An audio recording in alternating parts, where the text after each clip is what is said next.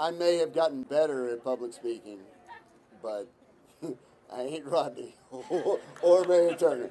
Um, thank you guys. Uh, just getting to know both of you um, who have been uh, idols and icons for me for literally my whole adult life. I don't want to age you two guys that much, but you know, um, it's it's just when you regularly hear two men like that stand up and talk about you and and put their name and their reputation behind the behind what they believe you can do is it's humbling, it's shocking, um, and I will forever be grateful to you two, uh, forever.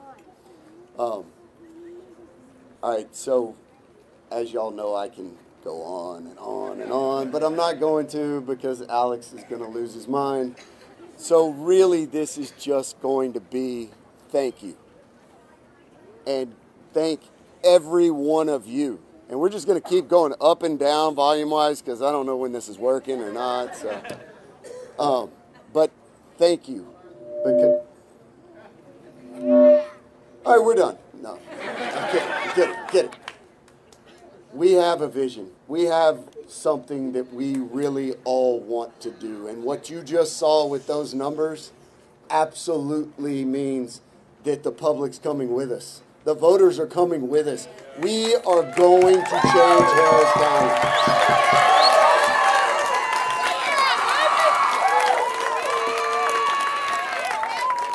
There are so many people that I need to thank, um, and I'm not going to be able to thank all of them by name. Some of them because they're still scared.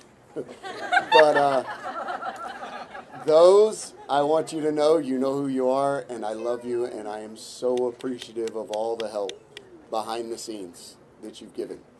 Way behind the scenes. Um, and to my campaign staff, Alex and Rocky, um, I, I met them in back to back days, and both of them were like, You're good? No, no, this this probably. I mean, we'll take your money, but this is probably not a great plan. I met Rocky at, in a dish society in my baseball coaching outfit with Bo just sitting behind us, like, Dad, can we get to practice? And uh, go Irish, exactly. And so then, a year from then, to be here is just amazing. Christina is our social media director, Christina Cornelius. Um, I met her when she was my barista at Starbucks in 2018.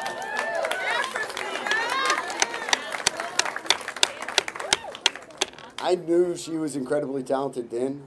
What she has done over the last year in communicating our message is unparalleled. I mean, it's. It really,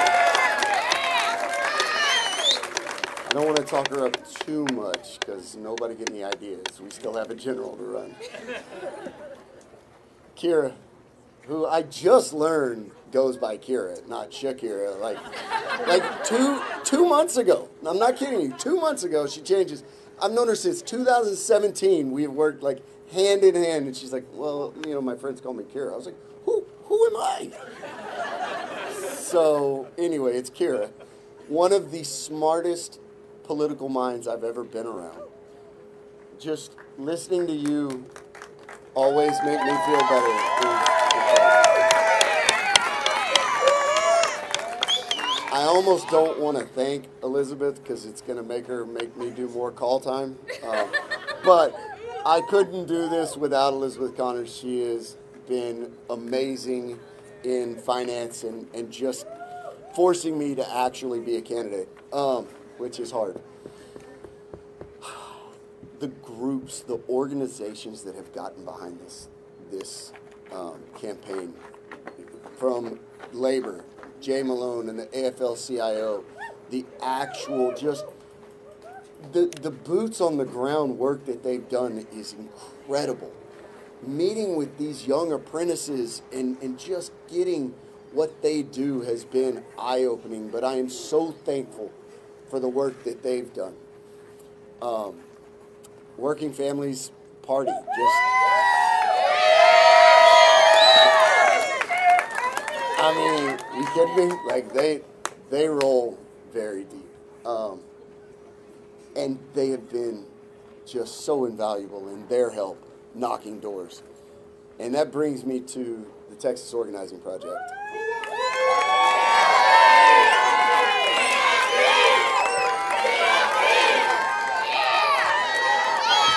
And so when I when I tell you